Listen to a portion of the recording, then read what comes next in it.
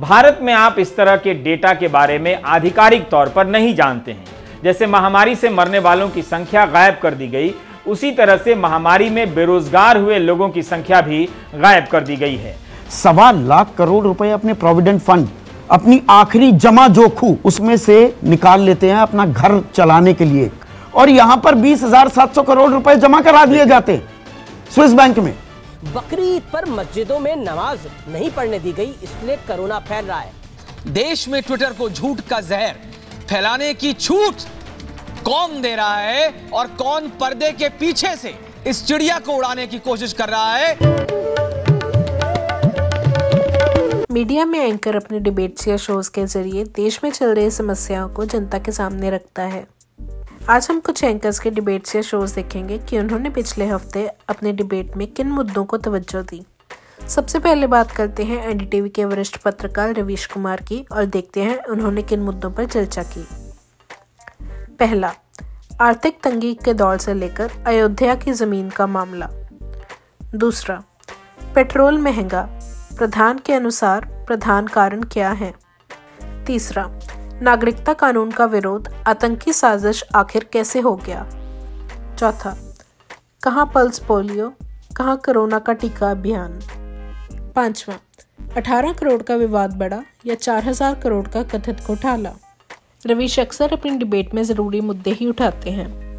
इस पर अपने डिबेट में उन्होंने कोरोना महामारी के बाद बढ़ती बेरोजगारी को लेकर चिंता ज़ाहिर की और सरकार द्वारा आंकड़े जारी न करने को लेकर भी कुछ सवाल किए। नमस्कार, मैं रविश कुमार। क्या सरकार ने ऐसा कोई आंकड़ा दिया है जिससे पता चलता हो कि पिछले एक साल की महामारी में कितने लोगों की नौकरी चली गई है? कितने लोगों की सैलरी कम हो गई है? कितने लोगों की कमाई आधी से भी कम हो गई है? ऐसे लोगों के जीवन पर क्या असर पड़ा है? लोग ट्विटर से लेकर फेसबुक पर लिख रहे हैं कि उनकी नौकरी चली गई है, घर चलाने के पैसे नहीं हैं। इन बातों पर चिंता छोड़कर बहस हो रही है कि किसे ब्लूटिक मिल रहा है और किसे नहीं मिलना चाहिए। अमेरिका का ब्यूरो ऑफ़ लेबर स्टैटिस्टिक हर महीने बताता है कि कितने लोग बेरोजगार हुए हैं। मई महीने में बेरोजगारी की दर में शून्य दशमलव तीन प्रतिशत की कमी आ गई। अमेरिका में तिरानवे लाख लोग बेरोजगार हैं इस वक्त। भारत में आप इस तरह के डेटा के बारे में आधिकारिक तौर पर नहीं जानते हैं। जैसे महामारी से मरने वालों की संख्या गायब कर दी गई, उसी तरह से महामारी में बेरोजगार हुए लोगों की संख्या भी गायब कर दी गई है। अब बात करते हैं न्यूज़ 24 के वरिष्ठ पत्रकार संदीप चौधरी की और जानते हैं उन्होंने किन मुद्दों को जनता के लिए ज़रूरी समझा।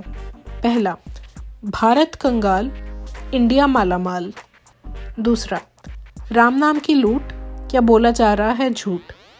तीसरा, पेट्रोल डीजल की बढ़ती कीमतों के लिए राज्य जिम्मेदार।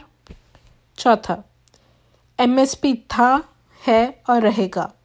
मिलेगा कब? पांचवा यूपी 2024 का खेल बनाएगा या बिगाड़ेगा?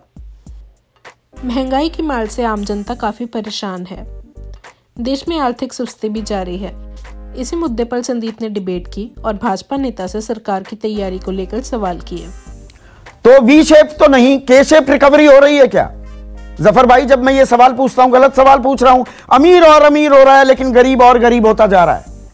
ये कड़वी हकीकत है क्या भारत की? गरीब कल्याणकारी योजनाएँ जो चलाई जा रही हैं, लोगों के खातों में पैसा, लोगों को राशन देना और बहुत सारी सुविधाएँ देना यह गरीबों के लिए काम करना, इस समय में सरकार जो है अपने पूरे खजाने को खोल दिया है गरीबों के लिए। मुझे ये समझाइए, तेरह साल में सबसे ज़्यादा हमारे डिपॉजिट्स स्विस बैंक में बढ़ जाते हैं और यहाँ पर आम आदमी, साढ़े तीन करोड़ लोगों का जो मैंने ज़िक्र किया, सवा लाख करोड़ रुपए अपने प्रोविडेंट फंड अपनी आखिरी जमा जोखू बिल्कुल देसी शब्द का इस्तेमाल कर रहा हूँ।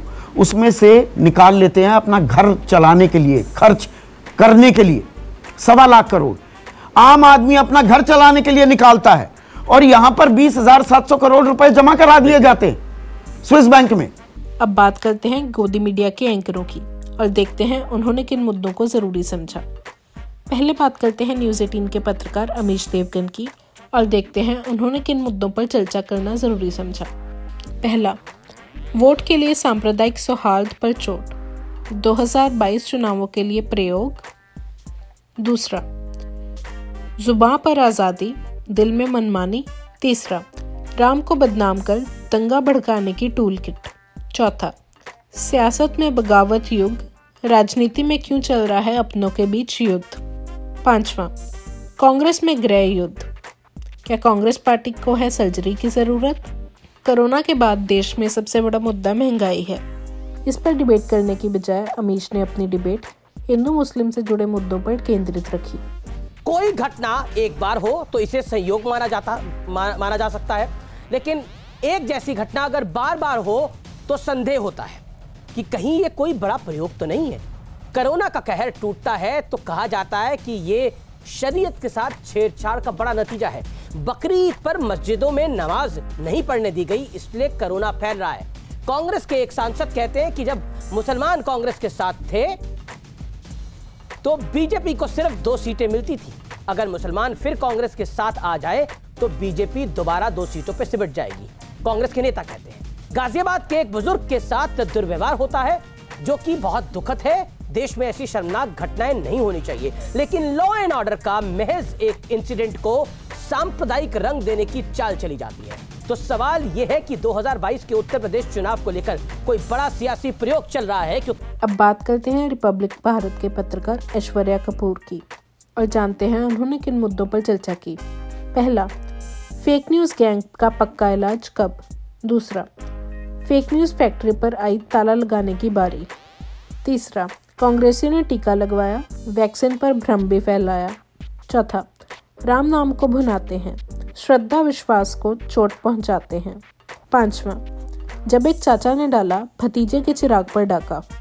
देश में बढ़ती महँगाई पर बात करने के बजाय ऐश्वर्या कपूर ने अपनी डिबेट ट्विटर पर चल रहे विवाद को लेकर की।